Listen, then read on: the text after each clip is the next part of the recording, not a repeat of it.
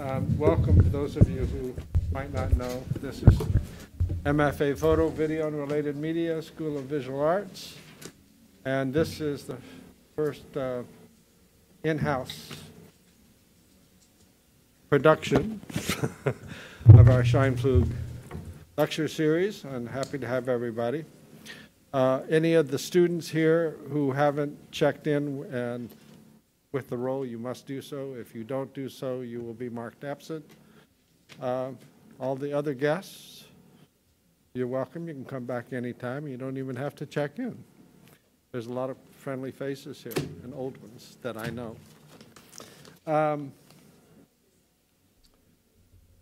I'm very happy to have this gathering in person, as we've done a couple of things with the students in the auditorium, but it's nice to be here.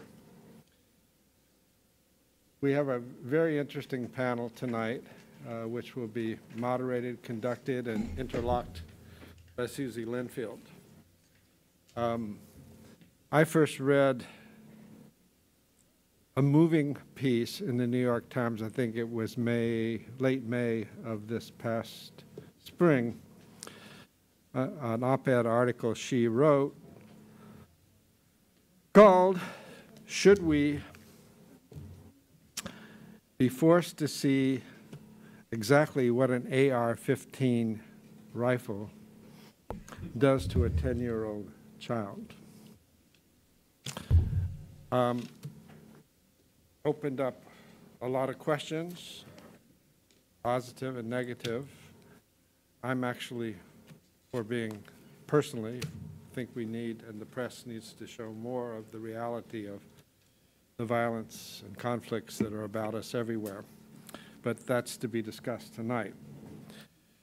Susie is a professor of journalism at NYU and uh, writes about the intersection of politics and culture and violence and conflict.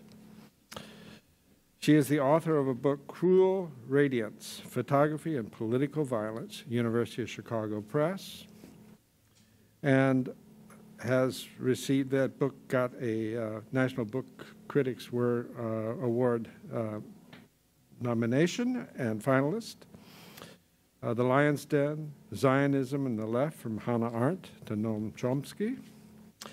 She writes for all kinds of important journals and magazines the New York Times, the Atlantic, the New Republic, the Nation, Guernica, and the Boston Review, all of which I read every week. And um, her books have been translated in multiple languages, including Turkish, Italian, Croatian, and Korean. She is a native New Yorker, and I'm so happy to have you here.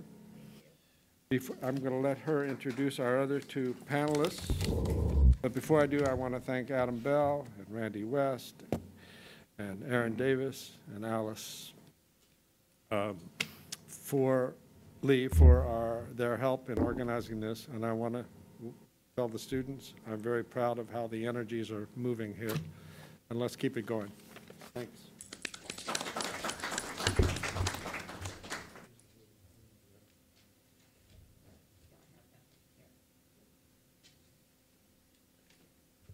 Hi, everybody. Can you hear me? Okay, thank you for being here. Um, we'll start our event with the two artists here. We'll speak about and present uh, some of their work. We're then going to have a discussion among ourselves, and after that, we'll open up the floor to your questions. But before that, I wanted to say just a few words about the very vexing, complicated issue of photographs of violence. A few years ago, I was asked to speak at a conference about Susan Sontag in Stockholm. At that conference, I showed some of the so-called Caesar photographs. Some of you may have seen them. I'm actually not going to show them here because I think that sometimes it's more, it's, it's a different kind of thoughtfulness to describe a photograph, but these photographs are widely available. You can find them. They're on uh, the websites of human rights uh, organizations. So the Caesar images were taken by a Syrian police photographer at the behest of the Bashar al-Assad government to document the gulag of torture chambers in Syria, where the Assad regime has tortured tens of thousands of people to death. It is not clear why Assad wants his own atrocities photographed, though we know that this has been true of other heinous regimes, including the Nazis and. In any case, the Caesar photographs are among the most horrible things I have ever seen. They show people with their eyes gouged out, apparently while they were alive, grievously slashed and wounded, electrocuted, and starved to death. Caesar, that's a code name. He now lives in witness protection somewhere in Northern Europe, was so appalled by what he was documenting that he began to smuggle thousands of these photographs out of the country into the West.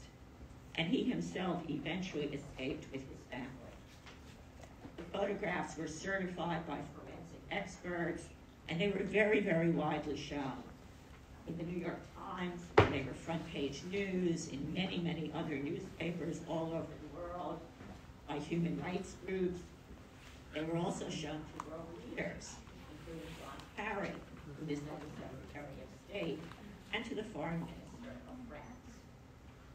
In addition, they were exhibited, uh, anyone could go see them at the United Nations. The result was nothing. And this seems, uh, perhaps alas, to prove Sontag's point in On Photography, that photographs of violence can have no impact unless there is already some kind of extant political will.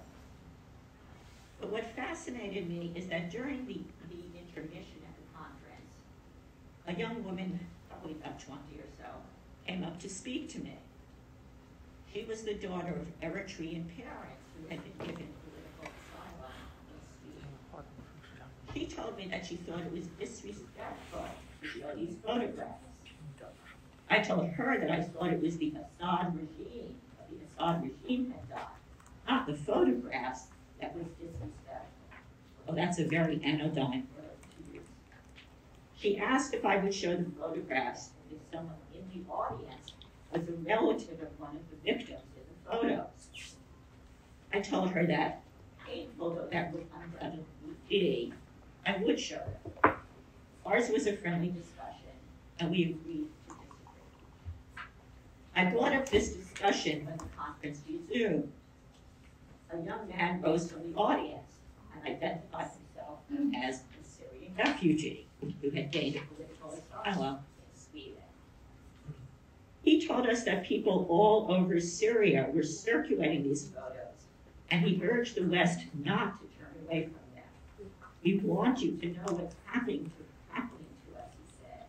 If you think you are protecting us by not looking, it is really yourselves that you are protecting. So he strongly implied that sensitivity and so-called respect can sometimes be a form of abandonment and betrayal. All of this is to say, again, that why an image is shown, how it is circulated, used, understood, misunderstood, debated, contested, is enormously complex and something I hope we'll be discussing tonight. I will only add, in terms of these photographs, that a new tranche of them has, has recently surfaced in Syria. That there is now a Syrian group called the Caesar Families Association, and that prosecutors are hoping the photographs will one day be used in war crimes trials. As for Bashar Assad, he remains firmly in power. In interviews, he has suggested that the photographs were photoshopped, and he dismissed them as forms propaganda.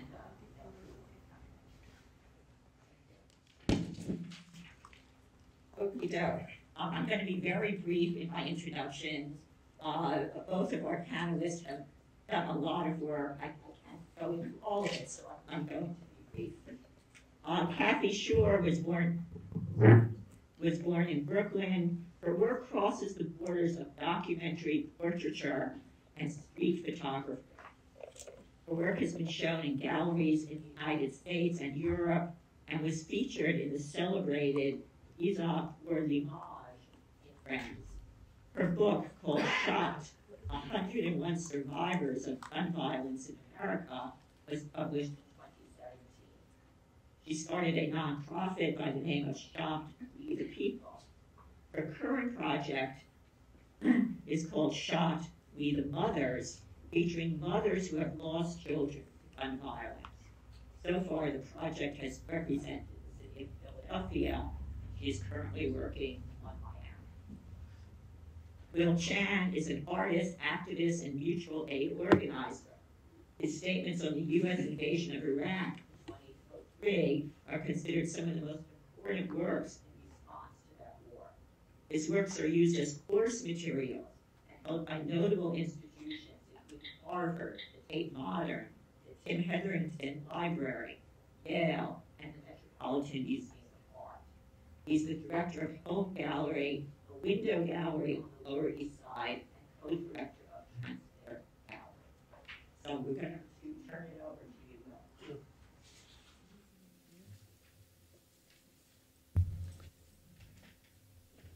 Hi. Nothing? Hi. Hold on. I'm, I'm still kind of nervous. I'm kind of working my I'm, I'm like working my way into like being less nervous. Um, but you can can I take a can I do one of these things with a mask? All right. I'm I'm getting I'm getting better now. Uh, I am going to do a 15 minute timer so that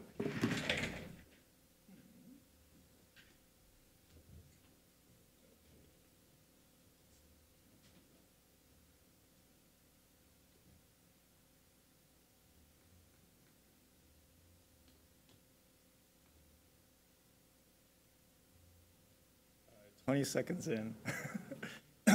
There's like no energy here. Anyone? Nothing? I'm gonna. I'm, Uh, that's that's 30 seconds I wasted. Um, I like to joke a lot. It's just uh, I think we're talking a lot, about a lot of serious things, and that's just the way I cope. So in, in no way does that mean I'm taking making light of it. It's just for me to kind of get get going. Um, I am a recent-ish graduate. Went to school with Erin. Um, so I my my art practice or life practice goes all over the place. But to me, ultimately, what I was trying to do after school was to find a holistic life where art and, and life kind of all merge together. So I don't feel like I was eight people at once. So I guess ultimately what we're getting at is what can art do? Uh, so I'm just gonna go chronologically because that I want to I want to kind of convey my mindset. So this is grad school, and in grad school, um, can everyone hear me in the back? Thank you. In grad school, um, so kind of wheel back, I'm a veteran of the U.S. Army, and I served in the invasion of Iraq in 2002, 2003.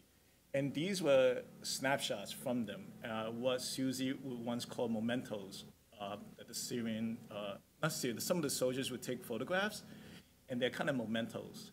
And that's kind of it for me. It was kind of traveling mementos nothing nefarious. It was just kind of like I would never do it again, I figured. So these photographs were done in Iraq during the invasion as a soldier only. I was not a photographer. And it was done, a lot of these were done with disposable camera.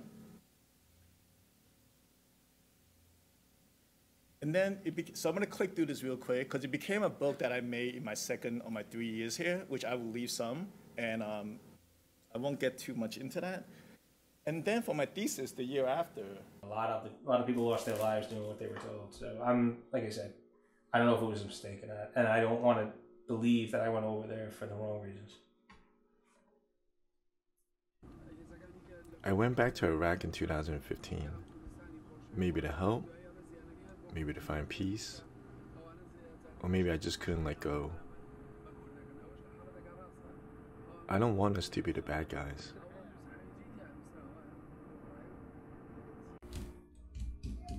Hey, Manuel. Hmm. I don't know why, but I just knew. Hmm. What are you thinking about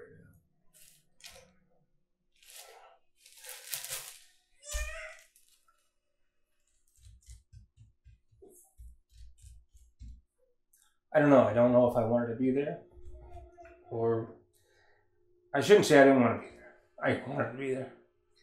But the country. I guess leaving the family hurts most.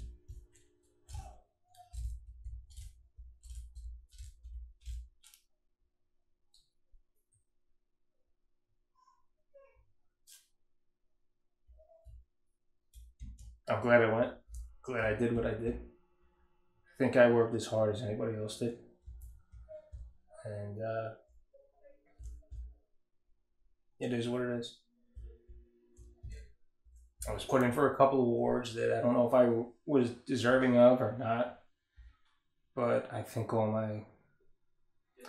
Shouldn't say I think all, but the majority of the people thought I deserved them. So that made me more proud than anything.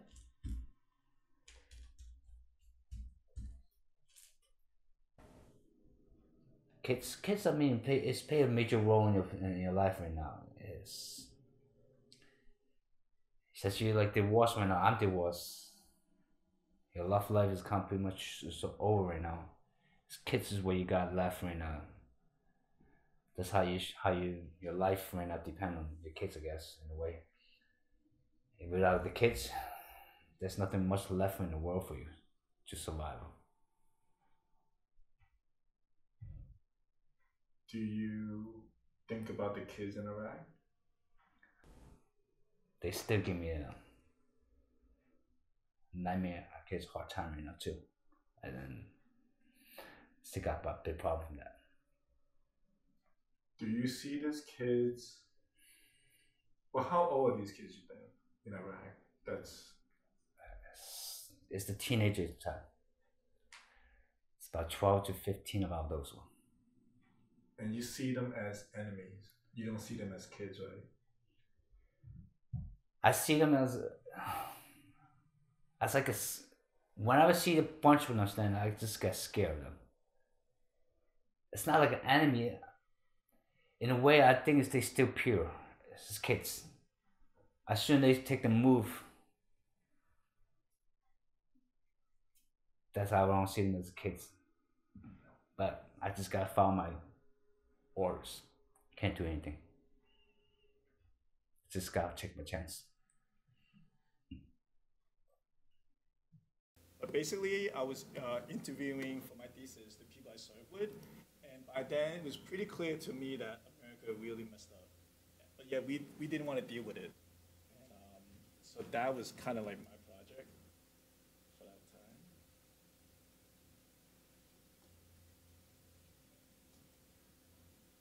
Then, um, so, so what, what did we do after school? Um, I think most of was just trying to find ourselves. Uh, the book was going pretty well, and um, it, was, it received some nominations and award. And I, you know, like I think most everyone here was kind of go forward, like maybe show it in an exhibition, things like that. Uh, but then I was also a very political person.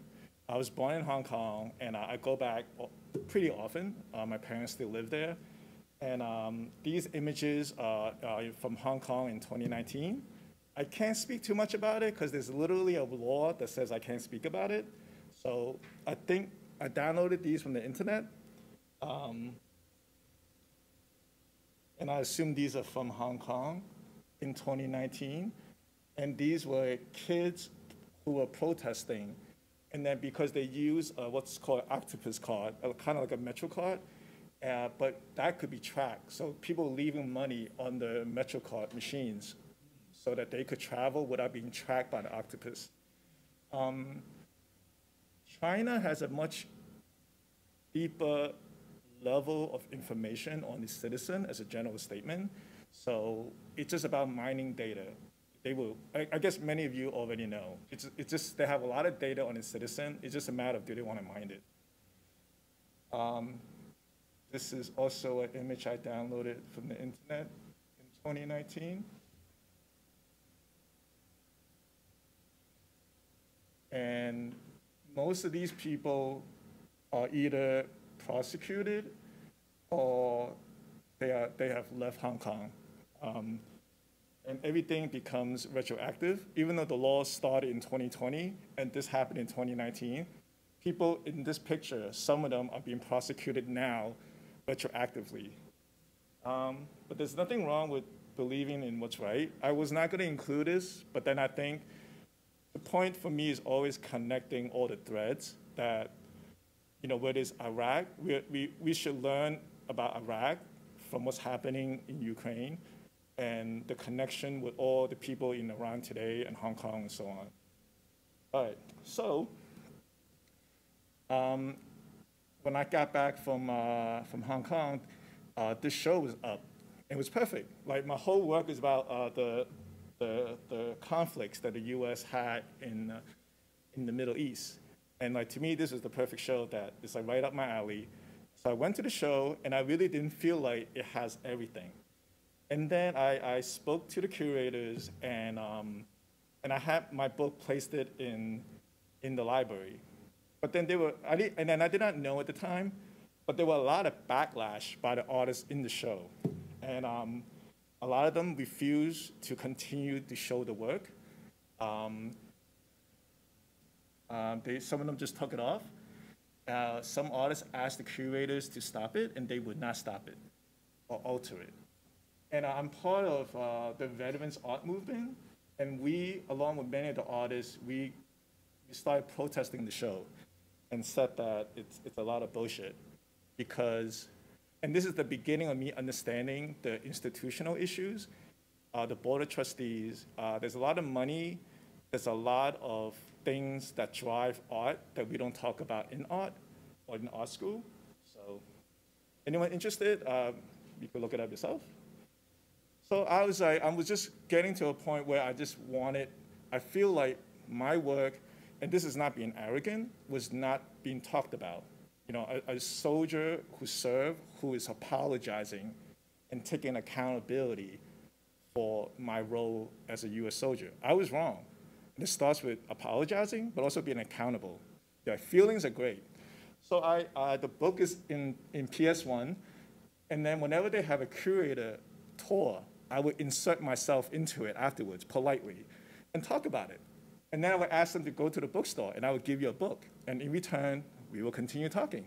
So I did that. Uh, this is the associate curator somewhere in the back, and I did it with the chief curator because they would not they would not let me do this uh, on a panel because uh, I didn't know the backstory. There was a one of the board members was actually owns the company like Blackwater or the new iteration of Blackwater, which are the mercenaries that we, we, we use in Iraq. So I, it was like my first kind of in, intervention performance, so to speak. So, so the second thing I did, I'm also very political in, as like a general statement. So I went to I went to all these Democratic rallies, and we hated Trump by then, right? By then it's, it's obvious that we hated Trump. So I went to all these Democratic parties uh, rallies uh, early, I don't know whenever that was. I'm, I'm a little bit nervous, but you could bear with me. It's a bit of a question, but it's really a statement. Um, I've been following a few uh, candidates, um, Senator Warren, uh, Senator uh, Sanders, and Mr. Yang, all really good people. I think we, we some of the best group of people that we have seen in a while. And um, but in the last week or two, I think I, am not from New Hampshire, so just to be transparent, I'm from Brooklyn, and I drove I drove from uh, Brooklyn this morning with my. my there you go.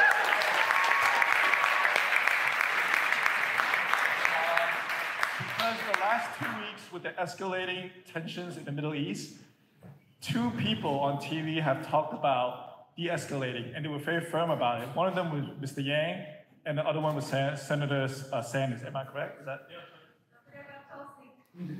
Yeah, and I apologize, I don't know everything, and I'm, I'm just one person. I, but I'm also here, as much as I'm here to see Mr. uh, Mr. Yang, I'm also here to be with my fellow American. I am a combat veteran from Iraq. Yeah. And,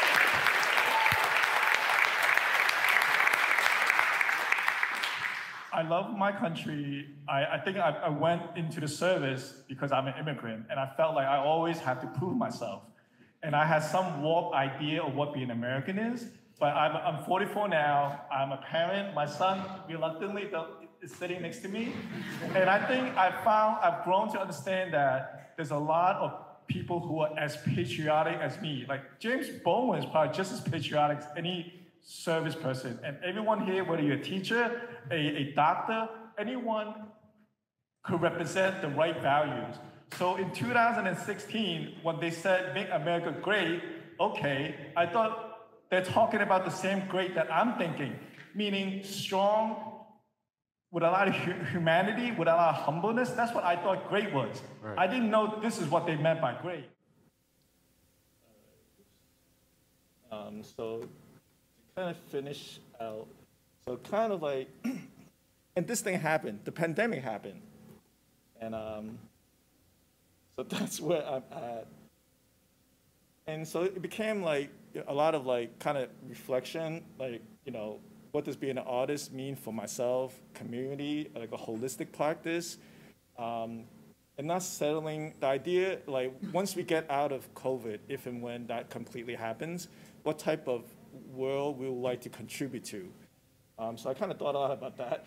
So around early 2020, I, I me and Guadalupe Maravilla, uh, I don't know, uh, he's, he's, he's a pretty big shot, big deal artist. Uh, we started, you know, he, I, he helped me, and I just say I helped him do a lot of mutual aid. And then uh, we've been doing this to this day. Um, and the picture on the left was from early in the pandemic. He was literally like, we were going to uh, buy food in books. And we were, and then this is, this is last week or two. This is, it became a sanctuary now. So have you seen the, the, the drop-off stuff at PPOW or Brooklyn Museum? That's this. And, and last thing, another person who I really admire, oops. Maybe I should just get to the last thing, which is what I'm doing now. All right, one last video.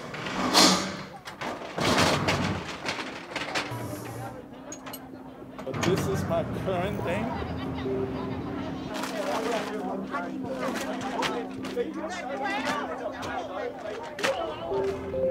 Thank you, thank you. You're welcome. One way to say yes to a need that we all have is food stuff. You know, you gotta you gotta eat. You're welcome. Every other week, we distribute approximately 140 bags of food. Each bag a solid three to five meals. The best salad ever. Uh, You're welcome. Make things less shitty for whoever. That feels like the only thing that humans are supposed to do.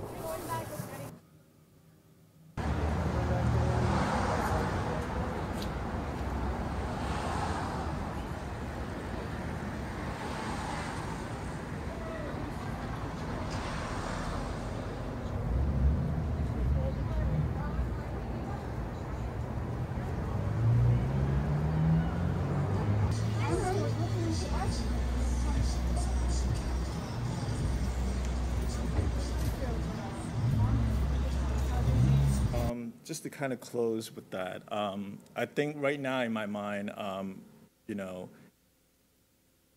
I have a better understanding of art market versus art world. Um, I'm past that kind of first five-year phase where a lot of people drop out of art. And I'm just really straightforward. Um, it doesn't mean everything I say is correct, correct, but it's been my truth. And I think if I'm going to ask you for 15, 20 minutes, um, you would get the truest truth from me at least. And um, this will be five to 10 year, I mean, a five to 10 year range of post grad. And um, what has sustained me going forward is the belief that my practice can, can serve to be a better art world than the pre-Trump, pre-COVID art world. Art market is not the art world, nothing wrong with it. Commercial gallery is not the art world, also nothing wrong with it. But the vast majority of art, if you only look at those avenues, are not going to be seen. They are driven by sales. And most people who go from studio to gallery to exhibition back to storage, those art 99% of the time will, will eventually be thrown away. Um, so for me, this makes sense for me. It's worth my time. Otherwise, and there's no money in art for the most part. So to do something for no money, it has to be worth my time. So that's that's my little story. Thank you.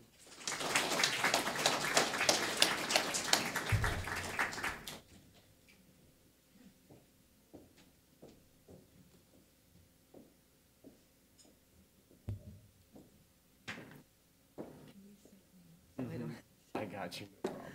Hi, everyone. I'd like to first thank Charles and the SVA department for inviting me um, to this event. And I am an SVA graduate from the undergraduate. So I love SVA, and um, I'm so happy that I went to this school. So while I'm getting set up here, um, I'm showing you two projects that I've done. The first one is Shot 101 Survivors of Gun Violence in America. This, um, thank you. This project started at the end of 2013, and I finished at the end of 2015. I traveled to 45 cities around America and photographed every race, many ethnicities, ages 8 to 80, from high and low profile shootings. Gun owners and an NRA member are included. And most of the survivors, I'd say 85%, were photographed at the physical location where they were shot. So this is the background on the project. I'm going to show 45 images. I think there's 15 from my second project that I'm working on now.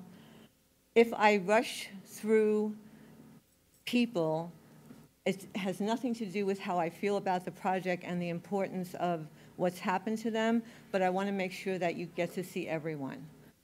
Okay, so.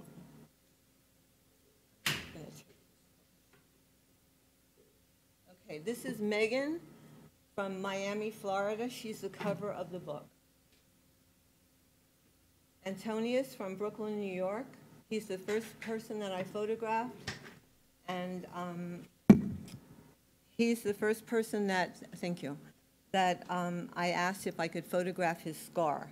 I thought of it when I met him. This is about seven weeks into his being shot. And I thought, mm, maybe that would be a good thing to photograph the scar. And I asked him if I could do it, and he just whipped up his shirt and said, sure. So then I realized that that was going to be part of the project as well. So this is uh, Karina in um, Fort Collins, no, Aurora, Colorado. Marlis in Canoga Park, California, and um, she's such a prim and proper woman. And then when I asked her if I could um, photograph, she's the oldest person in the project, if I could photograph her scar, all of a sudden she just whipped up her shirt like Antonius had, and she was shot through the heart by her husband of 41 years. This is Shanessa in um, Virginia, right outside, uh, outside of Norfolk. Josh in uh, California, uh, Pacific Grove. This is Shirley in Indianapolis. She also was shot by her husband. This is about less than two months out of the hospital, probably six weeks, and she was shot in front of both of her children in the nursery school parking lot. This is Joe in Philadelphia, and I'm going to ask you to remember Joe because he has something to do with my second project. He uh, was a SEPTA bus driver of the year, retired, was shot on three separate occasions, twice while driving the bus in Philadelphia. Sharika, a deputy sheriff, mother of seven kids, shot by her husband in the Walmart parking lot. And that was one of the reasons I used this specifically to talk about how important location was. Because if you can't identify with Sharika because she's a police officer, because she's black, because she's a mother, for any number of reasons, then I think you probably will identify with the fact that this happened in the Walmart parking lot, because most Americans shop in Walmart. So that was um, one of the reasons why I felt location was extremely important for this project. Kathleen uh, in Orvilla, Texas. Her husband also shot her. And then you can see there's different, uh, this is a upper middle class woman. Another thing that was really important to show all different kinds of people, that this didn't just happen to one type of person, it happens to all Americans. Allie in Kansas City, 15 years old. Her friend's uh, father was a truck driver, put his gun on the table, and I learned this from uh, about guns, something I never knew. If a gun, if the chambers are empty, it doesn't mean the gun is not loaded. There's a bullet that drops down. And two of the people in the project were shot because of this accidental kind of thing. Her, her best friend was the daughter of the truck driver and shot her playing around with the gun. This is Chloe in Kansas City also.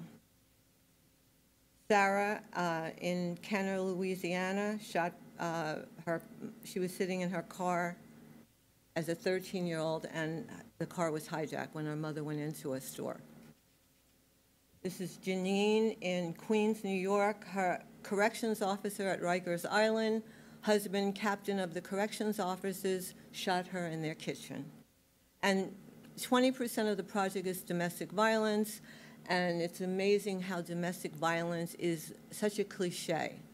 Every single one of these women from all different socio and economic backgrounds, all of the men said basically, if I can't have you, no one can.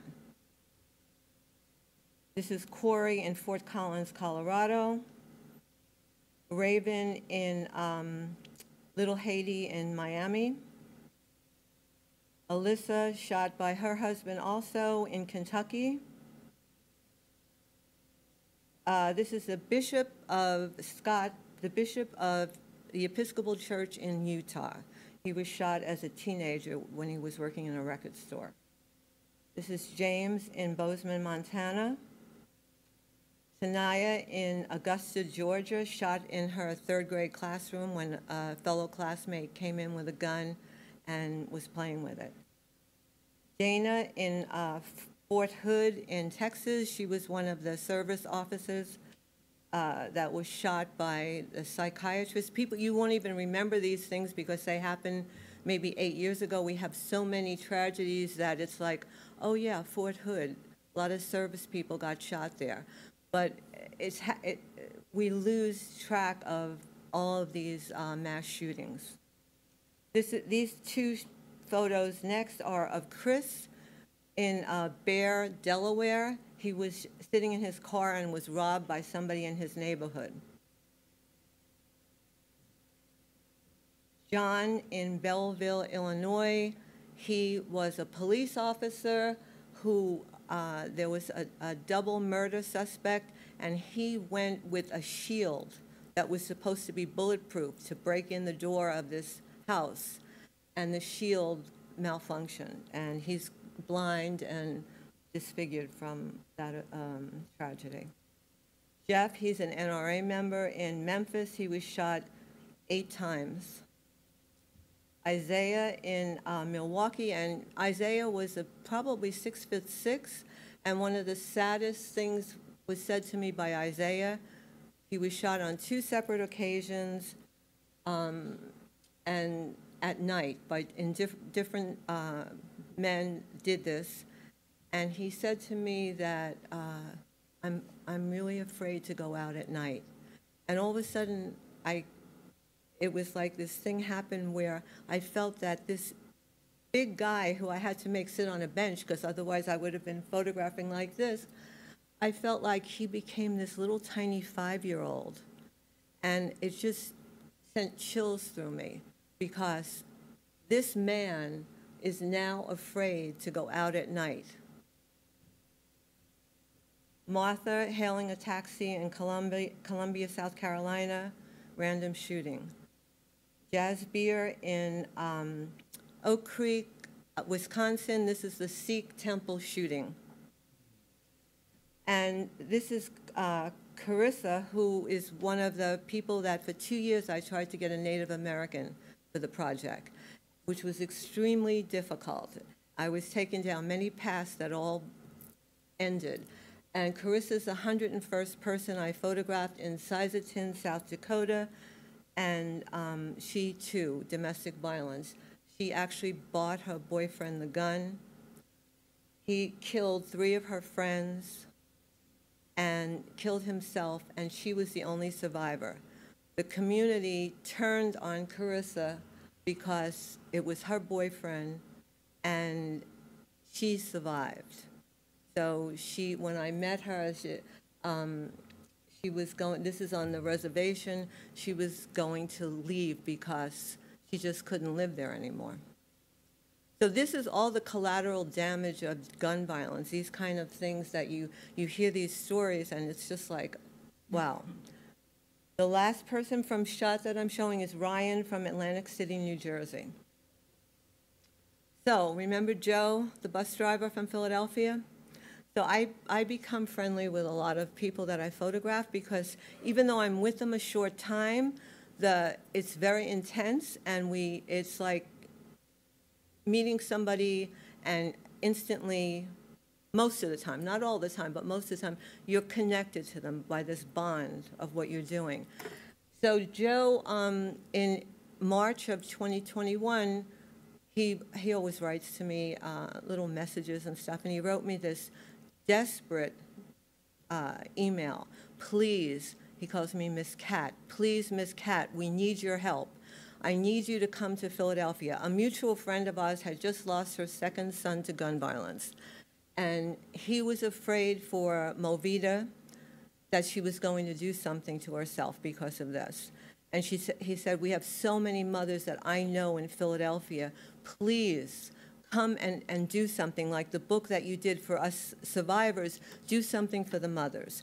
So that was in March of 2021. In April of 2021, I called. Mo- I had called Movita. I said, I don't know if you're going to want to do this, but Joe asked me if if we could do this, and she said, I want to do it.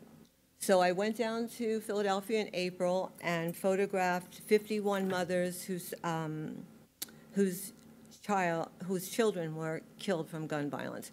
Now I'm, I'm showing you right now um, pictures that were put together. We have a, a public art show in Philadelphia. So with my designer, I worked on these next images to put images, diptychs, triptychs, and uh, some single images and the words of the mothers, very important.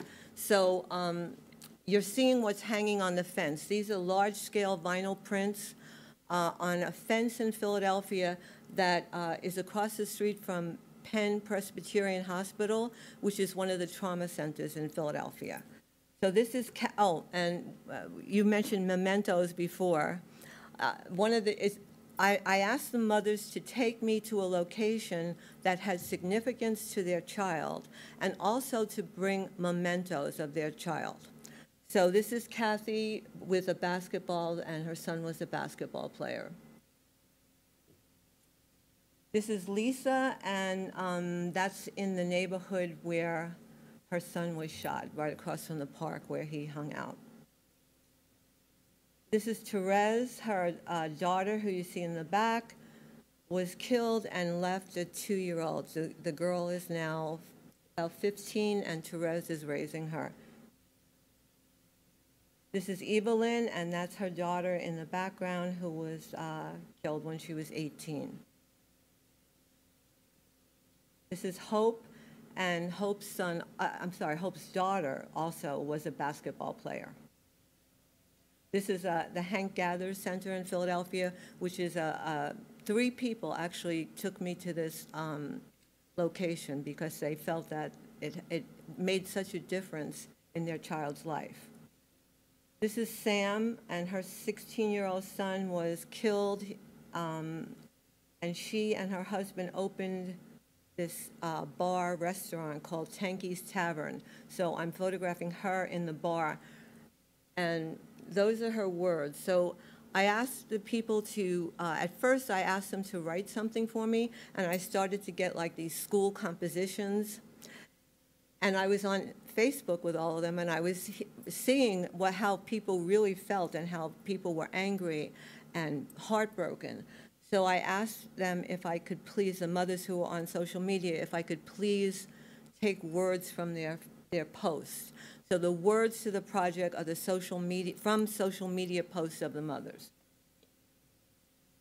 This is Latrice. She lost her son. Uh, on the right, it, on your, on my right is Sam, and on the left is Micaiah. A lot of people had tattoos in memory of their children, so I wanted to have that shown. This is Marissa, who lost her eight-year-old daughter in, um, uh, you know, a random shooting she was riding her bike and two guys started shooting, and of course, her, Gabby died. And Marissa is an incredibly powerful writer, not a, not a, a writer, a learned writer, but a intuitive writer and very powerful. And the, her police statement that she wrote is just, I mean, you, it, it was one of the most intense things that I've ever read. So that's Marissa. This is Movita, who I talked about before, who lost the two sons to gun violence, and that is a book that her first son, Charles, did for her when he was shot. And this is uh, Rowana, Tawana, sorry, and um, her son liked to fish, so she's over by the uh, river, the Delaware. And this is the last shot. Um, that's Sharon and Bert and Sahira. And that's, so I finished in Philadelphia and I'm working on this project in Miami now. And hopefully um, it's going to evolve into something where mothers from around America who have lost children to gun violence will start sending me their photographs. And um, then Shot We the People, which is the organization that, um, the nonprofit that I put together, hopefully will be able to put up a website with these images to show that um, this is what, what's happening across this country to many, many people. Thank you.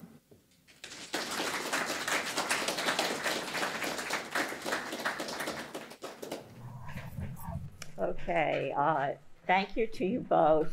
Uh, I want to open up with a general question that actually you raised, Will, uh, which is what can art do? We live in a very, very violent society. But you said one thing, Will, that uh, sort of puzzled me. If you could explain it, you said that there's a law preventing you from talking about the Hong Kong photos, but there can't be a law in the U.S. We still do have the First Amendment. So why are you not able to discuss them in the U.S.? I mean, there, there could be a law pro- prohibiting that. So there's a there's a so the law is uh, the National Security Act, I believe that it's uh, that it's in China, but in in their in their way of phrasing it, it applies to everyone anywhere globally. So if you never step foot in China ever again or do business, yeah, it will not affect you. But they've been using that law to to sanction uh, people, American Congress people, uh, and also a lot of exile uh, freedom uh, activists. Okay, so I'm going to come back to the question that you raised, and for both of you, I hope to address, is what can art do? You raised that first in your piece. Sure. Your thoughts on that? And, and, and I would love to hear that from you as well. but let me start. Um, um, I, I think we all think about this question at some point. Um, what can art do? Because you know, like it's it's it's a lot out of our life uh, for it to not do anything. But so, my feeling is art does nothing. um, but art changes the mind. I'm just kidding. Art art changes the the creator. I, it you know the work that I was doing at school was totally therapeutic, cathartic, and if nothing else, um, I didn't waste any time because I, I felt I was a better person. And uh, in the school, there was a lot of there was a lot of people kind of mentoring me. So so the first thing is it changes the mind, and it did for me. And then the next thing, hopefully your work is worth other people's time. And then when you put it out, it changes other people's perspective, and hopefully the people who you know, like I think a lot for me is as as an artist, I have a role to give a perspective, but I also have to be a doer. Otherwise, the, if, the, if the whole society is just sharing memes and posts, no one, nothing ever gets done.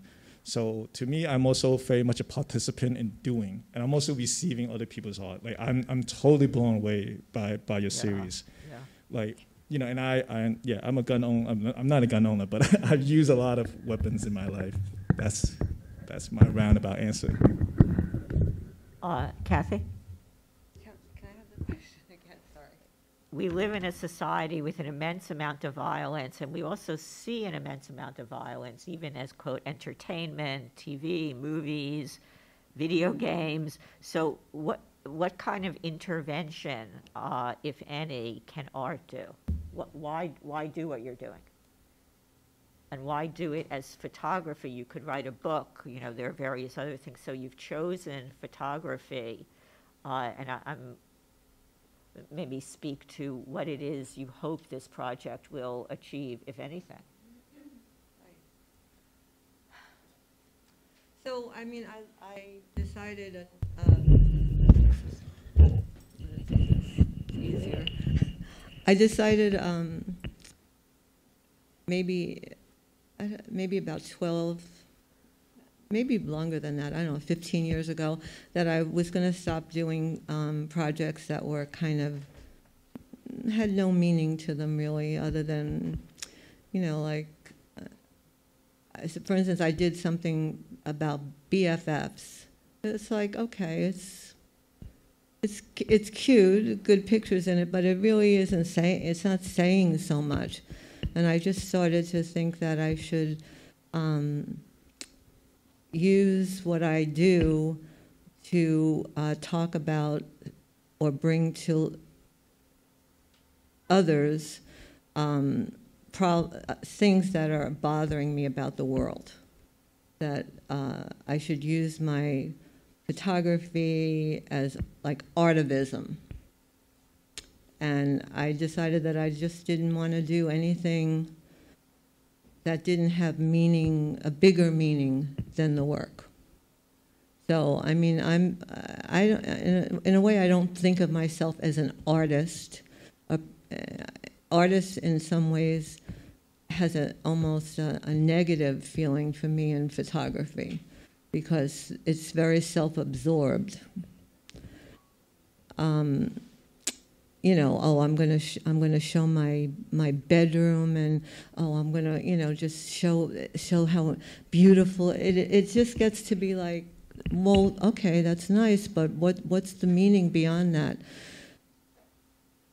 So I felt that I needed to push what I could do to to make things change, and I don't know if things change from what I do, but I feel that I have a responsibility to me to do what I can about things that really bother me, and gun violence to me is just um, something that needs to be addressed and wasn't being addressed. And it was always a black and white issue, and there's so many shades of gray to it, and they weren't being put out there, and it was very abstract. So I thought if I could bring a face to the, the subject and put real people into uh, people's minds, that it would humanize it, and then it would be something that um, could be talked about without people yelling. And as I said before, looking at places that are very familiar, that we all frequent, or seeing people who might remind us of somebody that we know or someone we would like to be would make it easier to talk about. And I'm curious, I'm sure that the people that you're photographing, especially these mothers, have different reasons for wanting to do this. I'm sure some also turn you down. But what, what do you think is their motivation? Very few people have turned me down. And I'm not saying, I'm saying that because people really appreciate giving them a way to talk about something that's happened to them.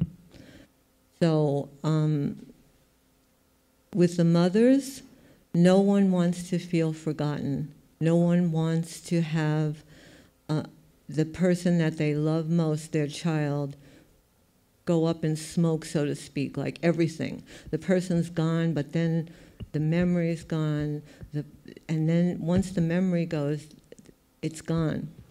So everyone says, uh, I'm so grateful and happy that you are uh, going to do this about my child. So it's, I mean, it, it, for a ter- it's a terrible thing that turns into something that um, has uh, has a redeeming uh, nature to it for the person that uh, that poses.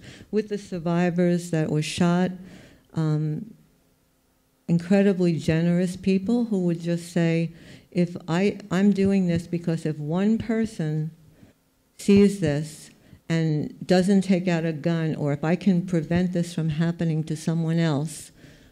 That's why I'm doing it. So the generosity of the people that I work with is uh, unlike anything I've ever met with, with anyone else. They, they, the mothers don't want this to happen to other kids, and they want to keep the memory alive of their children, and the survivors don't want this to happen to anybody.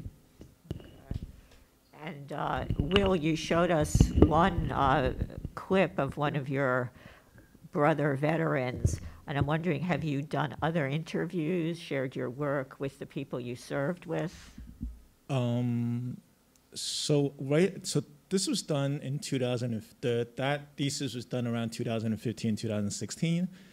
But then uh, when when Trump and that whole whole kind of uh, way of thinking came about, a lot of my friends are Republicans, or they were they were independent or apolitical that became Republicans, and um, so it was really hard to continue. And I also was very specific to not ask them to sign the release.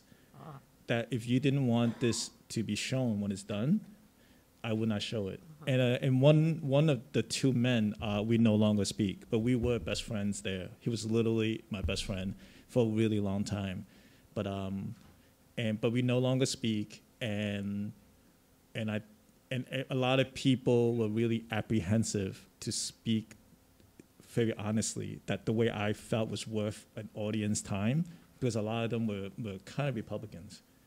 Uh, and I'm very not a Republican. Not a Democrat, but I'm, I'm definitely not a Republican. Okay. Um, obviously, an image can't be controlled, which is sort of one of the great things about it. It offers a freedom of response.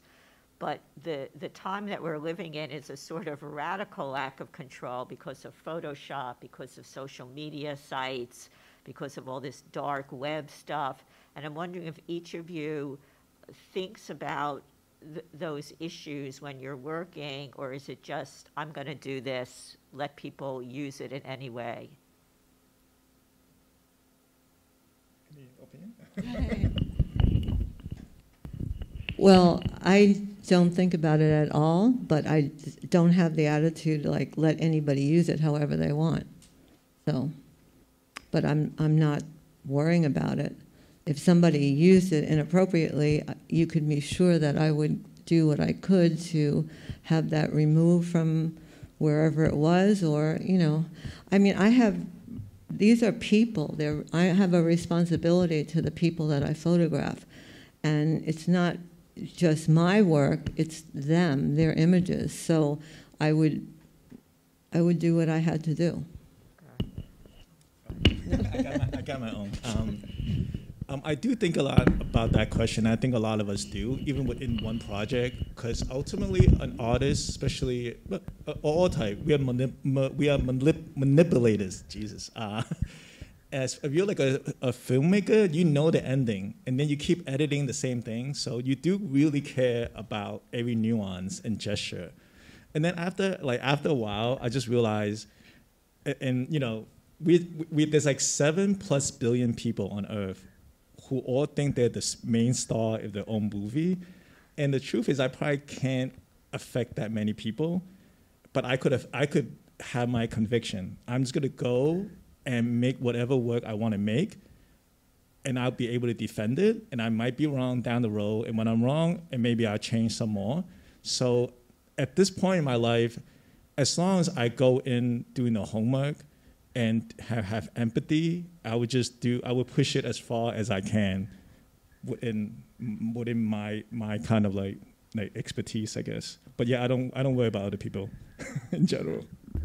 Um, it's sort of striking, Kathy, in your work, not uh, obviously with the mothers, but even in the first book, how gendered a lot of the violence was, how many of these women had been shot by husbands, boyfriends. Um, I, I actually was very startled by that, and we, you know, the press tends to focus a lot on mass shootings because they're so hideous, Uvalde or whatever. Uh, but I, I'm, I'm interested in this question or what you what you think about it of how much of this, how much of gun violence is actually violence against women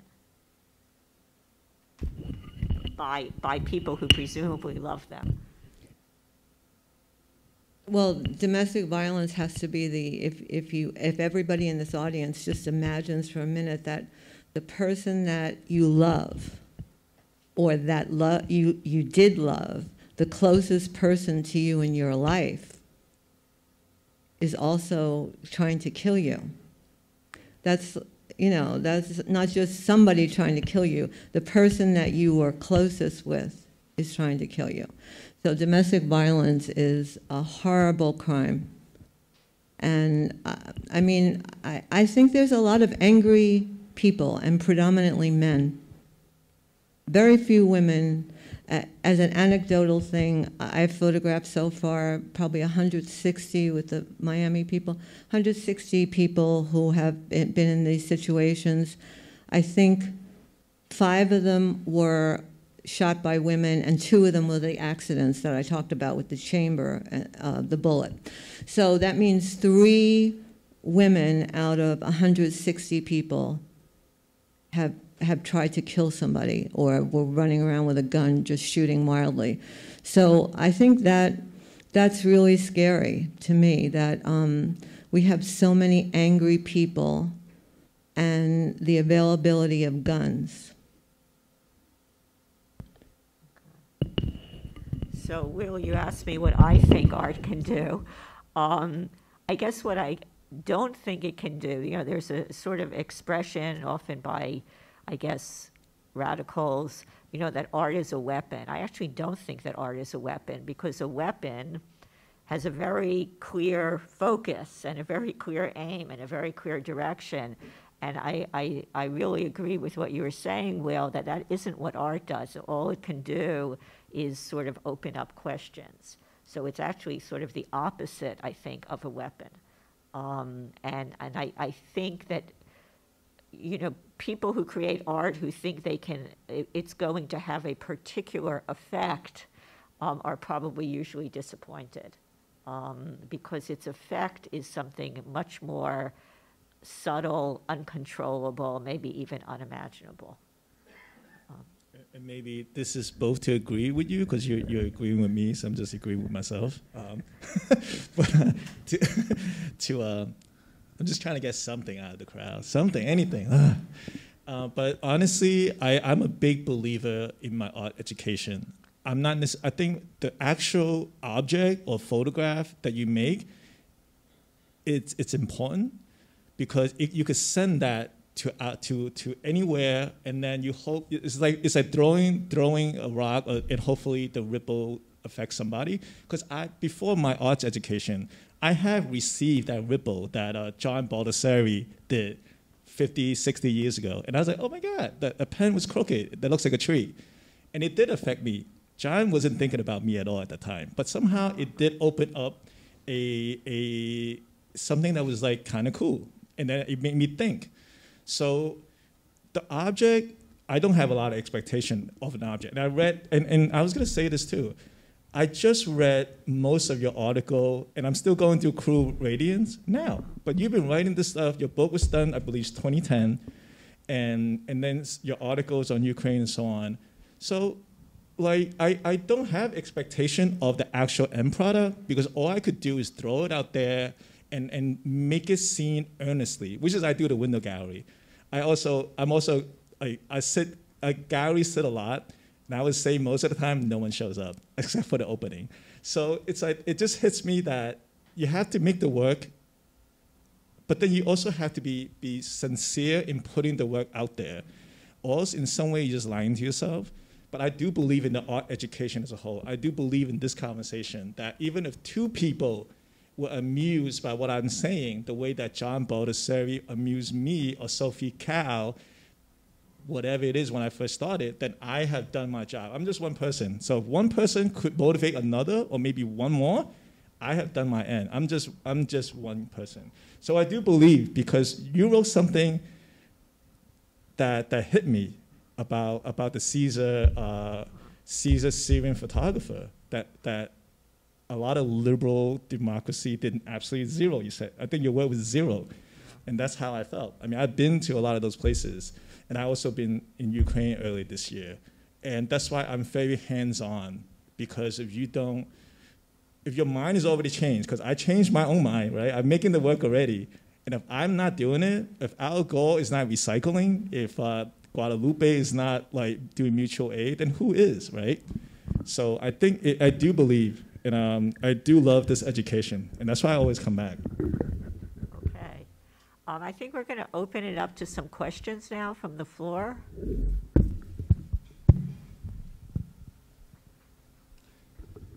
Uh, yeah, the gentleman back there. Hold on. Oh, okay. You got a mic. Can you, sorry.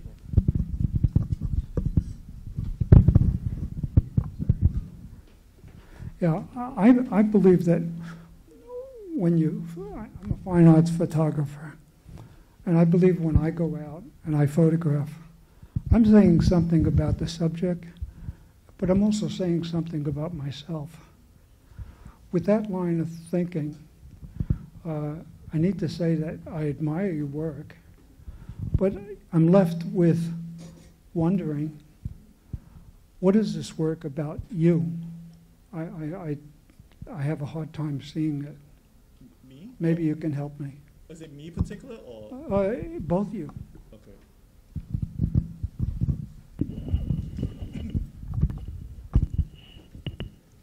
I said before that I don't want to um, have something that I can uh, that I feel that I can do something about.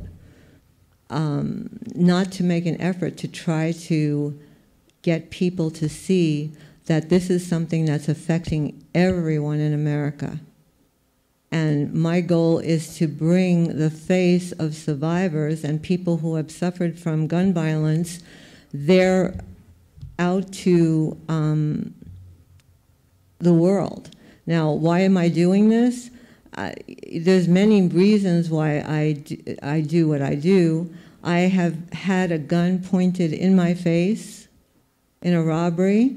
I know what it feels like to have my life hang in the balance of a crazy man with a gun. My child was uh, 15 months old. This was a robbery in my house. A push, uh, somebody dressed as a postal worker coming into my house with a gun. I understand what it feels like to be at the mercy of a gun. And as the survivors that I've photographed said, I will say the same thing.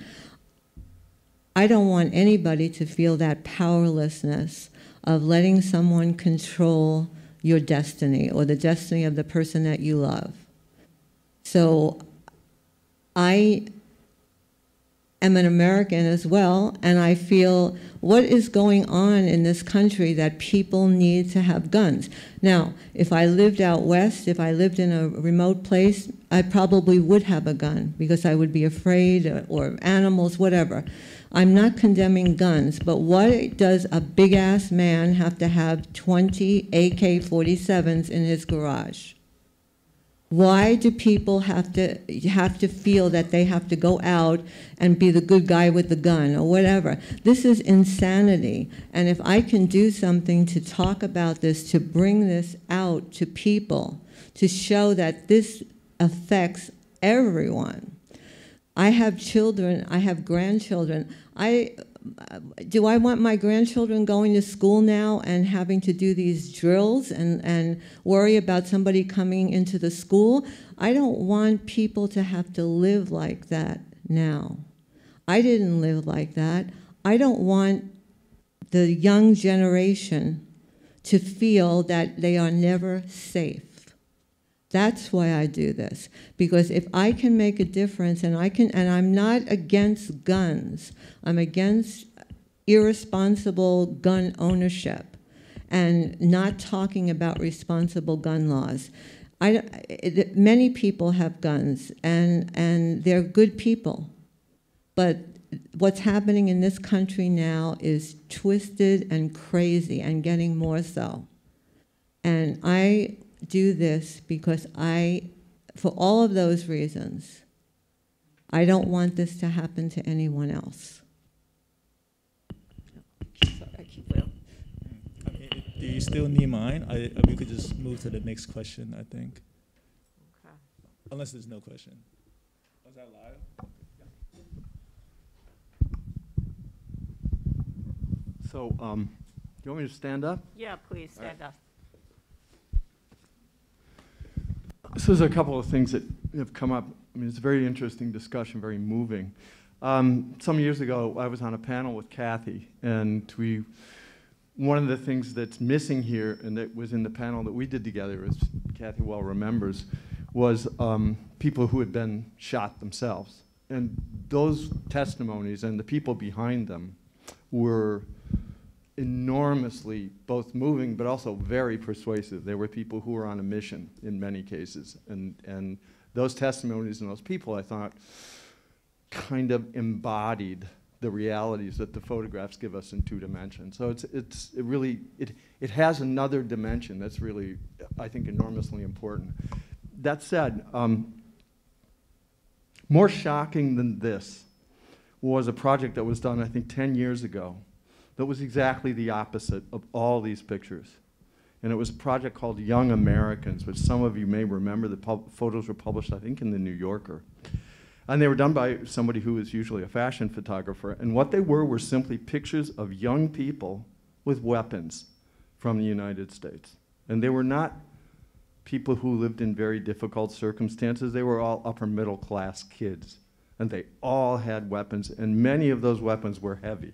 That is, they were AK-47s and, and M16s and automatic weapons. And they were part of the world in which these kids grew up. Very responsible parents, good target shooters, and that's how they that's how they thought about their world. And my question is, what's the impact of these photographs for them, for that world, which is essentially the world that, you know, that creates a background of gun use, or let's call it gun normalization. And the second thing I want is more towards Susie, uh, um, things that you've been thinking about. You made some points sort of in passing that I think we, if we had more time, it would be really good to unpack. The one that really jumped out at me was like the forensic aspect. We've been talking about photographs primarily, we haven't made a distinction between how artists use photography and how photographers do their job and where those pictures go.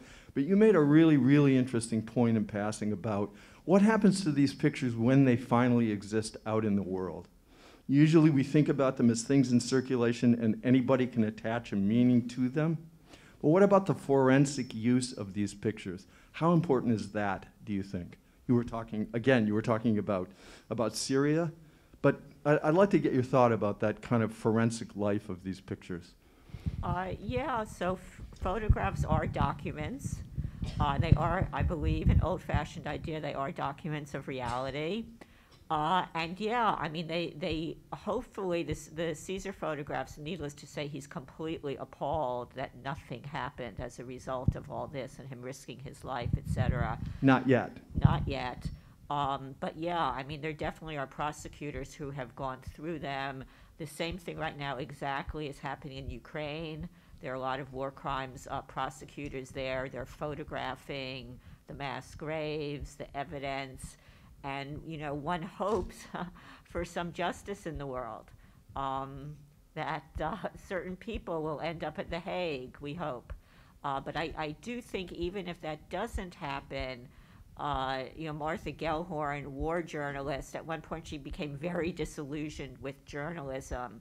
You know, she covered the Spanish Civil War. She was warning about fascism. Nobody listened, and she actually, after World War II, retreats for a while, and then she comes back to journalism, and she says, you know, journalism isn't going to change the world, but she said it's really important for human beings to have a record of what we do to each other.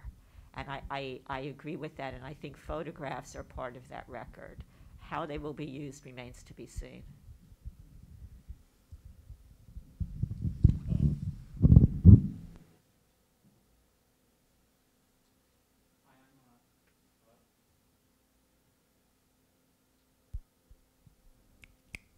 There we go. Hi, I'm Chris. Uh, I'm a former student. stand up so we Oh, can see I'm you? sorry. Thanks.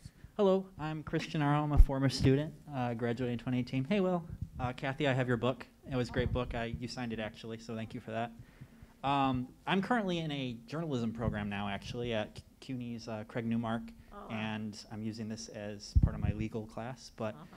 one thing that we're talking about in journalism um, is how photographs are maybe we should show some of these images uh, graphic as they might be and i feel like there's a lot of quibbling with editors with what to show what not to show. Meanwhile there is a lot more of like tiktok journalism happening which obviously isn't going through quite as much censorship but on the, the other side of it is it's fleeting. It's gone after you know a day. And those images are gone and don't get to maybe have the full impact that they could have had. And I'm guessing, I guess I just wanted to know your thoughts on that and whether you think that's a good thing, it could improve upon as far as, again, just making those images have a lasting impact. But again, I think it's a good thing that- more people are photographing, obviously, and sharing their truths. Um, the downside is that it's so fleeting, and because it's individuals, it might not get the impact it deserves. And I was wondering if you could talk about that. Are- Are you addressing that to me? And the whole panel. Okay. I mean, I'm a terrible person to answer that because I'm not, my, my students consider me a dinosaur. I'm not on social media. I do not tweet. I am not on Facebook. I am not on Instagram. I'm not on TikTok. Um, I do know that last uh, semester I taught a course called Women in War. This is when Ukraine started, and my students were saying, oh, you know, we're getting all these images all the time on Instagram, but we don't know what's real. And I basically told them, get off of Instagram. Um, and that there are other places that you can look. So, yes, I know that social media can sometimes have its progressive aspects. Obviously, what's going on now in Iran, people were using social media, um, although now all the social media has been uh, shut down there. But I, I, I actually think, at least from what my students tell me, that this sort of deluge of images that they're getting on TikTok, Instagram, sort of really uh, degrades, is that the word, the impact of anything. And it also puts them in this sort of weird uh, place of having no idea of what reality is. And that sort of really actually scares me a lot. Uh, but as I say, I'm, I'm, I'm the least knowledgeable person um, about that. Um, I want to jump in. Um, usually this happens when I'm high or like a mushroom, but I'm not. Um, but I'm to go there. Um, um, this is just my opinion, and, and I'm, I'm, I don't know it, but like your truth is your truth. Um, there's no meaning to life. And that's just me, though. I'm not saying our body was created and is functioning strictly to survive. We, we pump blood, we breathe. Uh, when it hurts, we hurt. Like when we when we touch electricity, we hurt. When we have a when we need to expel poison, we we have diarrhea. Um, that's our main goal, the body's goal. And we our feelings are mostly chemical and your organ. Having said that, we have versus a lot of beings on earth. And, and they might be a god, they might not be a god. I don't know. I'm not in any way this but chances are the god, if there is a god, is probably not the ones already been described. That's just my feeling. But I don't want to get in a fight with nobody. Um, so having said all that, everything else is a construct. We are built to continue to survive, and and we care. We don't care, but we care as much as we we could tolerate. And our body, and I, I'm someone with uh, past trauma, so to speak. They told me I have PTSD. I am a 100% rated uh, dis- disabled veteran, which explains why I don't work. Um, so I'm considered really crazy. Um, so I don't have to be on mushroom to be crazy to talk like this. So what I'm trying to say is, before we talk about what art can and can't do, the conversation I had is, how big is our bubble of privilege? A lot of people don't care about Syria or whatever. It's because they don't envision themselves ever being affected by that. Now with so much information, because when I grew up, there was like three networks. Fox was not even around back then. I had a beeper, uh, which is awesome.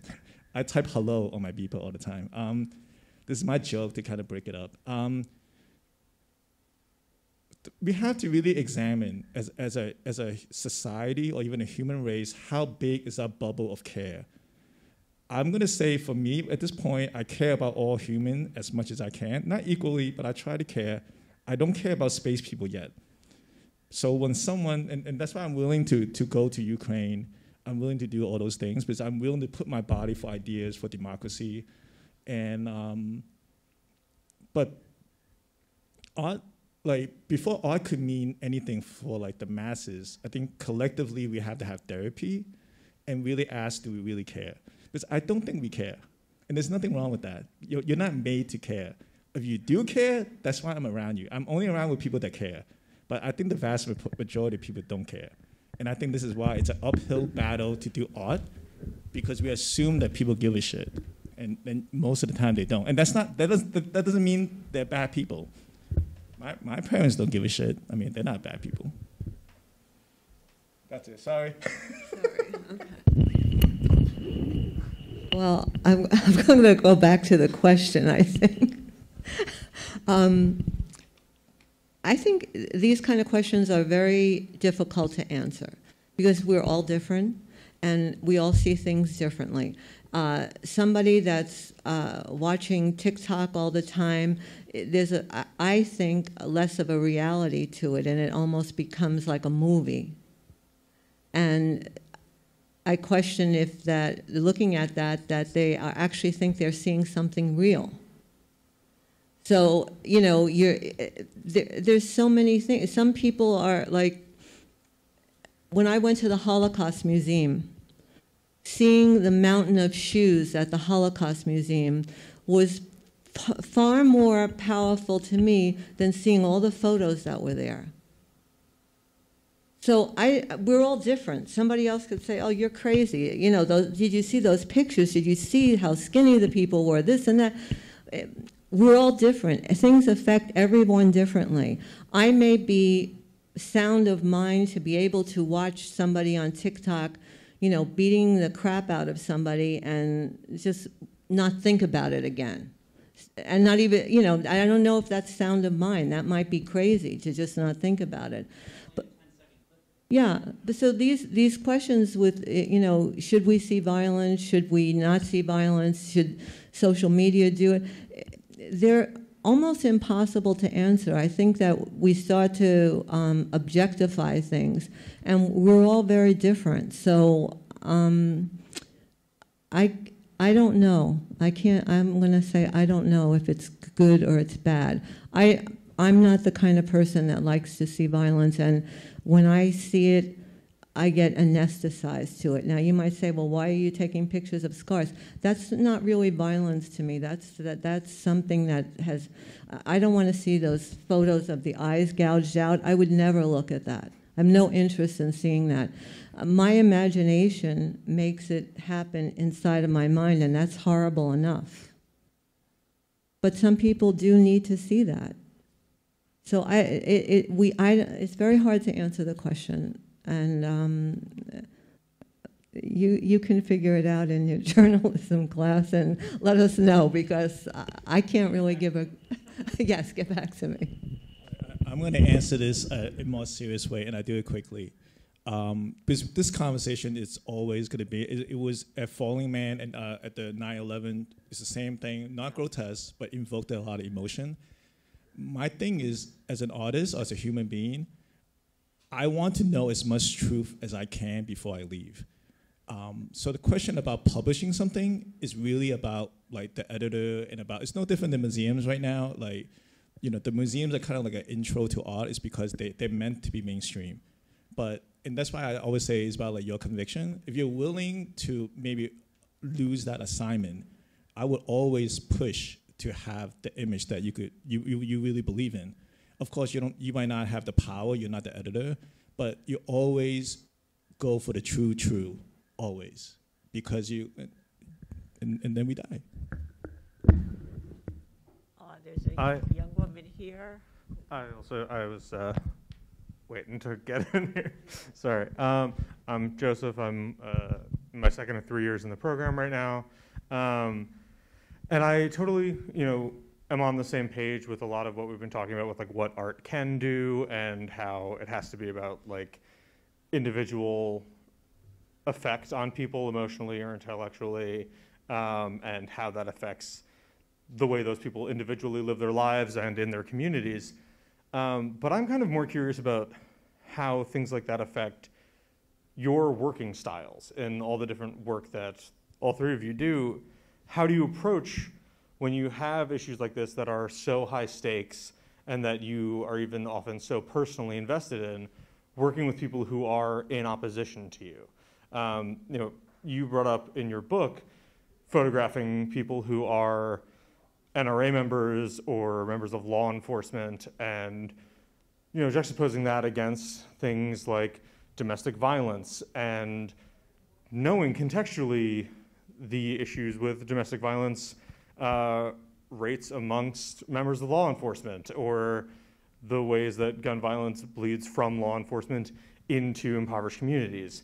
And I'm just curious how you manage creating a body of work of any kind that you have a specific and invested point of view in while collaborating with and documenting and discussing the viewpoints and even sometimes platforming the viewpoints of people who are in opposition to you or represent or members of factions that may be in opposition to you.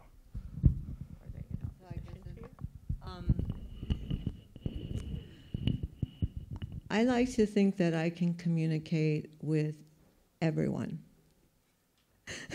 that, that might not be true um, sometimes, but I will try to um, look. eh, eh, There's there's certain things that that we have in common as people, and those are the things that that you can draw on when you're working with people who are different than you. Now, the NRA member and I happen to be good friends now. We never talk politics. I'm sure he voted for Trump. I'm sure he did. But he's actually a wonderful person in other ways. And he works, with, he's from Memphis, and he's working with young men in Memphis who have been in gangs and have used guns. And he works on a, uh, in a group talking to, to young men who are very different than him. And he has very good points. So when I when I'm with somebody that I'm different from, I'm trying to look at the positive things and the connections that we have. And with this book, one of the highlights of my doing it was I went to Bozeman, Montana, and I love Montana, so I'm not putting Montana down. But um, I was asked to, I, I had, as Lyle talked about, I had book signings and survivors at every place on panels with me. And I was asked to be on talk radio in Bozeman. And I was, was like, okay, great. So I went to the, the radio station and I went, it was a tiny studio and there was some guy talking like, and I said to the woman that brought me in, he was uh, in a, the soundproof room, I said, is that the man that I'm going to be interviewed by? And she shook her head and I said, is he a Trumpster? Because he was like very loud and vocal. And she said, like this. And I said, oh no, I have to be on with him for one hour? And she said, she, all she did was shake her head. I was like, oh, I am screwed. This is like not going to be good. How am I going to get through this? To make a very long story short, everything went well. He agreed with me on so many things. People called in and were, you know, saying things to me about, oh, uh, you know, don't take my gun and all this, but he never said anything like that. I never said that. After the hour went by, it turned out that he was from Staten Island, and as somebody that grew up in Brooklyn, I was like, I knew there was something familiar about him. So afterwards, on the radio uh, web page, there was a glowing review of my book. Fantastic, because he had said to me when he was interviewing me, I don't want any crazy guy online in a store with me with a gun. I don't want that. So he, there were things we could talk about. So on the the whole interview was like this great book and I fantastic. And at the bottom of the page, uh, the web page, were Sean Hannity, Glenn Beck, and all the right wing talk show people smiling out. And here was the interview of my book. So that to me was one of the highlights of what I did because we all can connect to people if we make an effort. And just because we disagree on some things doesn't mean that we can't connect.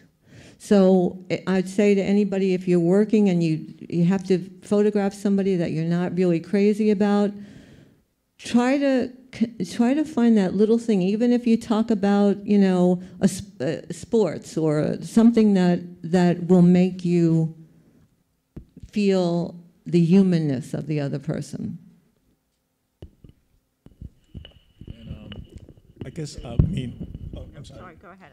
Um, I mean, I want I mean, however much time we have left, uh, if you have any question, we could just keep going. But I do want to say, um, art is always for another person. I find that where it is this period or whatever, I find a lot of people just make art as it's a science project, and certainly science could be part of your art.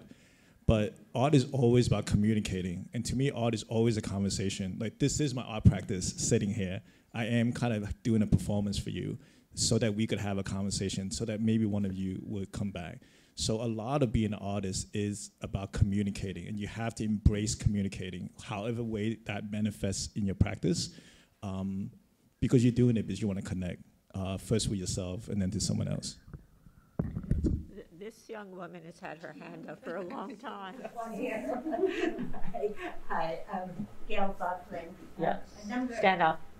Um, a number of years ago, I wrote a book called True Crime Picture, uh, Shots in the Dark True Crime Pictures, and it accompanied a court television program on crime and forensic photography.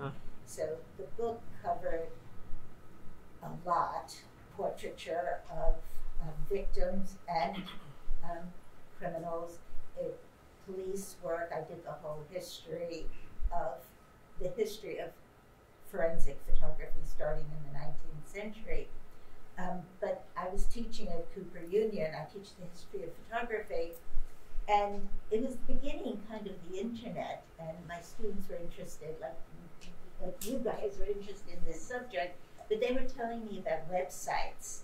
And you, somebody mentioned that we have to be able to differentiate the Hollywood version of crime from true crime. And on the internet, there were very violent pictures, and I realized I had to go there. But these photographs were floating without context, and that was very problematic. Um, even, even autopsy photographs of John F. Kennedy's assassination were which were supposed to be locked in the National Archives, had been stolen and put on the web. So I had a lot of decisions of what to publish and what not. I did publish the autopsy photographs of JFK because had they been seen in the Warren court, the conspiracy theories wouldn't have um, Uh-huh. per- perpetuated. But the point was is that things were floating and, and that was problematic. Nobody was talking about it. And then I was asked to do an exhibition at the Chelsea Art Museum based on my book. And this was before Abu Ghraib, and I think it might have been the first time a, a curator downloaded photographs from the internet and put them on a museum wall. And I got a lot of grief for that. But it started a conversation, then Abu Ghraib came, and we realized, even though my book covered the whole history, that, you know, the tabloid photograph of Dillinger shot, you know, on the front page was no longer the prime photograph that was existing. And I, I just want to say, because of my book and because of the exhibition, um, when Daniel Pearl was beheaded um, in Afghanistan, he was a journalist who had trusted somebody and gone for an interview, um, and then he was beheaded. The New York Times called me and asked me, Gail, what do you think? Should we publish that beheading photograph? And um, that's why I'm asking the question because I felt what Charlie said and what you said at the beginning. There's so many different contexts, and you might disagree with me, but what I said to the Times, and this was my opinion, is it was so raw, and the widow was so present with her child that I'm glad the photo existed, and I would publish that photograph in a historical book because we have to know what the Holocaust looked like. We have to know what violence looks like. We have, but not on a newspaper, not on the front page. So it really comes to. I think all the photographs are important, but there's different contexts where we should exhibit and publish them, and um, that's you know back to the question. You know, so many decisions. Thank you. Pakistan. He was killed in Pakistan. Oh, Pakistan, sorry. You know, there's one slight flaw in your argument. Uh, you said that if those autopsy photos had been uh, published of JFK, there wouldn't have been conspiracy theories. But I think the whole point of a conspiracy theories is that they're sort of immune to evidence. Um, uh, they're not really tethered to evidence. Uh, and they often have a life of their own. I mean, look look at you know the people who deny that Sandy Hook ever happened. Uh, so so I mean that it's that's a very optimistic spin you're putting on it, and I wish that were true. But I actually think that that's not true. I think that conspiracy theories fill a much different need, and that people are totally capable of ignoring photographic evidence. I think more and more. But when JFK was assassinated, it was a, it was a different world. It was a different world. Yeah. Yeah. It's a less crazy world.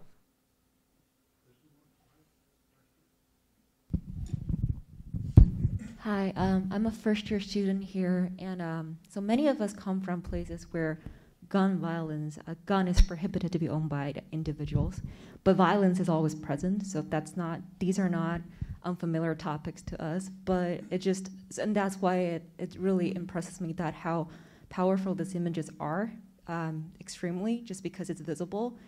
And um, my question would be: so, and you all have several projects, and the initial projects, I'll start with what violence look like, because those are really strong images. When you look at it, there are scars and survivors of violence, gun violence, and we look at it, we recognize immediately what it is.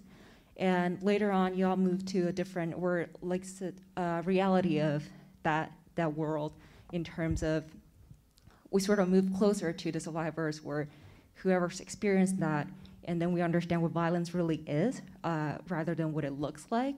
So I, um, my question would be, what do you consider as the importance of um, the importance of making these photographs are? Because these are one of the most difficult images to be made ever. And do you think that's changing for you as you move on to making more of these images or different approaches of these images?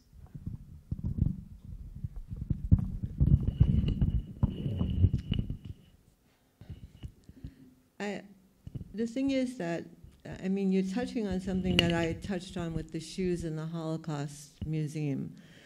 Um, sometimes, if if I look at an object the memento that somebody brings me of their child, that's very powerful. That might be more powerful than looking at a scar. It, all of this, it all depends on how you're feeling that day, what it touches in your past, how the person presents it. I mean, it's, it's, all of these things have emotion. It's not, not always the visible that's so obvious that is the, the, the real thing that makes you, you know, upset or think. It's sometimes it's, it's something that's triggering a past memory that you have. So when I photographed the mothers in the location, somebody in Miami, I photographed a mom who had a two-year-old boy that was killed. And I asked her to bring, she told me that she had some of his toys, and I asked her to tell me about them.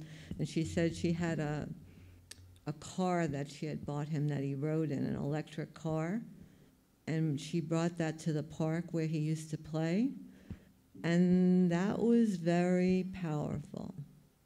As somebody that is a mother and, you know, sees this vehicle and this woman and the, and then I had her give me a picture of him on her cell phone and put that in the car. And that was, that was very strong. That was stronger than um, a, a, a scar for me. So it depends. It really depends. Um, you, you, if you're looking to to get at get to know the person and get to know what the person wants you to know about them, because people all, always give you what they want to give you when you do portraits. You just have to have the patience and the time with them to get it. But the strongest things are not always um, so obvious. Maybe um, I don't know. I don't. I don't even know if I'm answering this question. Uh, but I, my thought, I think what you're asking is, and what what I what I thought about. I don't make work as if I'm the center of my topic. I don't have to be. I just have. It's almost like being a politician. I just want the best person to win, and I only do things that I feel it hasn't done, where I know what I'm talking about. So that's why my art practice went to being a gallerist or a curator or visiting crit is because I felt like that was there were there were too many good artists and not enough opportunities. I'm still advocating about being an American soldier, apologizing and, and being accountable for the Iraq or the war of terror, because it's still, and, and this is my problem. I'm very much pro-Ukraine, and but so much of how we look at China or Russia is exactly how the world looked at the U.S. for the last 20 years, and I have the the card holding ability as a veteran uh, as an independent to talk. So I will continue to talk until some someone better comes along. But I hope everyone here, whatever your practice is, the next five, ten years, I like to think that in the end, we're all part of like an era that's 2000, 2022, whatever it is, that we're all just kind of doing this together and we all feed off of each other. So I learned so much from younger people. Like I, I'm, I'm, I was born in Hong Kong, but I never, I, I never could get a visa to go to China.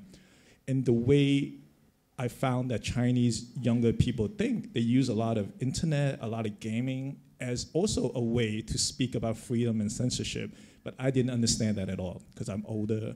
And so I think for me, it's about not controlling anything. And that the older I get, the future, it's, I, I would never be part of the future more as I get older. I will always be closer to death, unfortunately, maybe fortunately. But so I think, I like to think that, that I'm talking to the future, just from a probability standpoint, unless you get hit by a truck tonight, unfortunately, if that happens. So just try to think of it. We're all doing this together. I feel like there's a stand up in there as well. Okay, I think we have time for maybe one more question. there a final thought? I have a thought. Yes. Um, I mean, the debate, what, what to look at, what to show, what not to show, is gonna go on. But I, I feel that there are people with greater consciousness about the horror of conflict and violence, guns. Abu Ghraib pictures, I think, made a big difference when we saw them about Yeah. what that period was about, and about, you know, the brutality and mindlessness of, of, of an administration. And the difference between perhaps the good and the bad, for lack of a better term, is a pretty small percentage. If you could just move a few people to what we'll call the good side, it can make a big difference in how our politics, at least in this country, play out. And there's a great divide in this country. And part of the divide is that certain classes don't see issues because they're in a bubble, and other classes don't see other issues because they're in a bubble. We have to get out of the bubble that all of us inevitably are in, irrespective of how worldly we think we are or cosmopolitan. And getting out of that bubble, I think, means looking, looking at others, getting to know others. One of the beauties of photography and the lens arts, the video industry, is we can go search, we can go wander and discover. Get out of your damn bedroom, get out of your past, and look at somebody different. And um, that's what you know, and, and maybe we will ine- inevitably can commit some certain kinds of crimes doing that. But at least we're doing it uh, with some intention to do the right thing. And sometimes we stumble on the wrong. But the difference between good and bad is it's a small percentage. It's a very fine line. If you can move a few people, and I think all three of these people done a beautiful job